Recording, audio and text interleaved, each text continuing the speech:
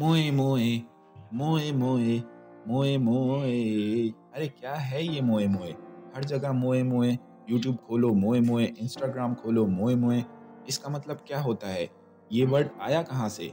इसका इस्तेमाल कैसे होता है? क्या आप जानते हैं? नहीं पता? तो चलो फिर पता करते हैं।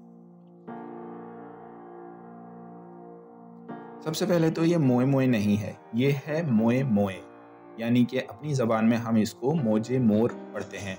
तो ये एक सर्बियन वर्ड है, जो कि एक सर्बियन सॉन्ग में यूज़ हुआ है। मोए का मतलब होता है मेरा, और मोए का मतलब होता है समुंदर।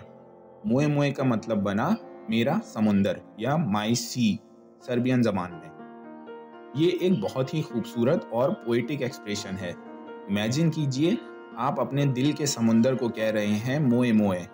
एक ऐसा समंदर जिसमें आपकी ख्वाहिशें आसान और मुश्किल लम्हे सब कुछ समा गया हो। ये फ्रेज़ अक्सर इस तरह के एक्सप्रेशन में इस्तेमाल होता है जिसमें आप अपनी फीलिंग्स को बेहद गहराई से बयान करना चाहते हैं। जैसे कि आज का दिन बहुत खुश है, मोए मोए।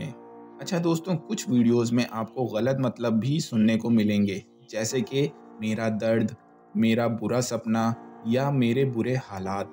तो दोस्तों, ये सब गलत मतलब हैं।